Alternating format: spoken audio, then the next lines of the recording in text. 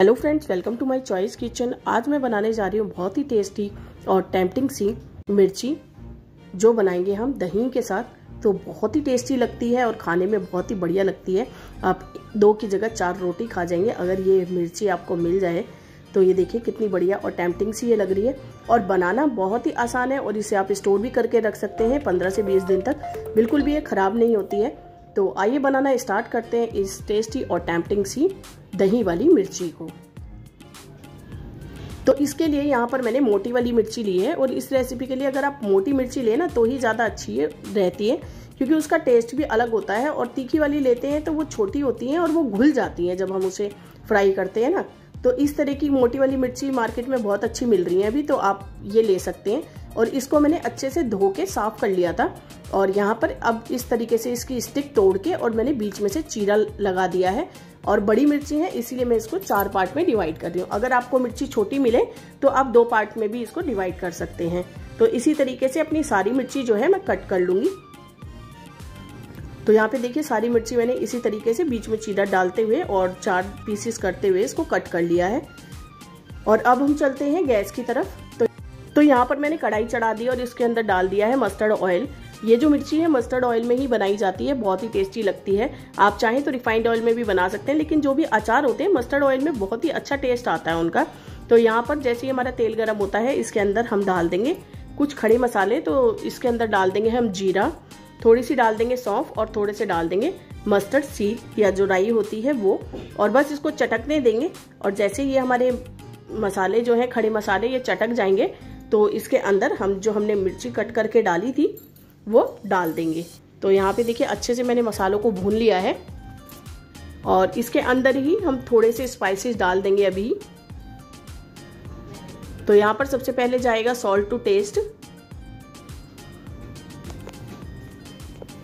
और इसके साथ साथ मैं इसके अंदर ऐड करूँगी थोड़ा सा हल्दी पाउडर और थोड़ा सा लाल मिर्च पाउडर जस्ट फॉर कलर के लिए डालेंगे, बाकी मिर्ची तो तीखी होती ही है तो ज़्यादा डालने की ज़रूरत नहीं है।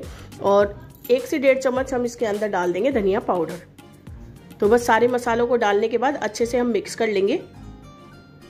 तो यहाँ पे देखिए सारे मसाले मैंने मिक्स कर लिए हैं और अब जो हमने मिर्ची कट करके रखी थी, वो इसके अंदर हम ऐड कर देंगे।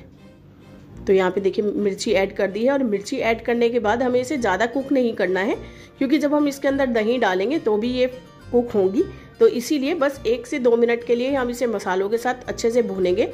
और दो मिनट के बाद इसके अंदर हम ऐड करेंगे अपना दही। तो मैं आपको दिखाऊँगी कि किस तरीके से हमें दही इसके अंदर यूज़ करना है। तो दो से तीन मिनट के बाद मैंने इसके अंदर डाल दिया है आमचूर पाउडर।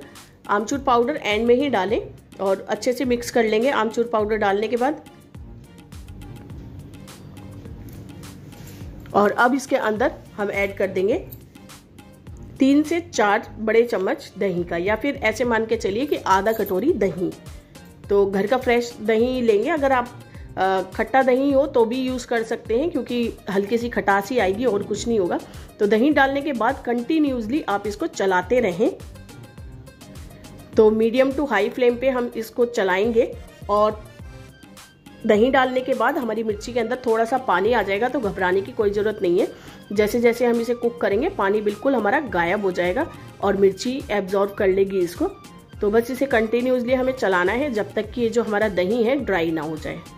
तो अभी देखिए, आपको ये पानी पानी लग रहा होगा, और जैसे जैसे हम इसे कुक करेंगे, मुश्किल से मुश्किल पाँच मिनट का समय लगेगा इस रेसिपी को बनाने में। तो ये देखिए जैसे जैसे हम इसको कुक कर रहे हैं, दही हमारा गाढ़ा होता जा रहा है, और मिर्ची जो है, हमारी ये सॉफ्ट हो गई है, और देखिए पूरा एब्जॉर्ब कर लिया है हमारी दही को ड्राई हो गई है ये। तो बस रेडी हो गई है हमारी बहुत ही टेस्टी और टेम्पटिंग सी दही वाली मिर्ची। अब इसको हम सर्व करके दिखाते हैं।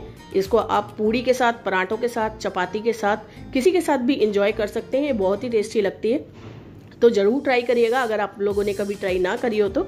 और आज का वीडियो पसंद आया हो तो मेरे चैनल को लाइक सब्सक्राइब और ज़्यादा से ज़्यादा शेयर करिएगा। मिलेंगे नेक्स्ट वीडियो में, तब तक के लिए बाय बाय घर पे रहिए, स्वस्थ रहिए, अपनों के साथ रहिए और मेरी वीडियोस को एंजॉय करते रहिए। Thank you thanks for watching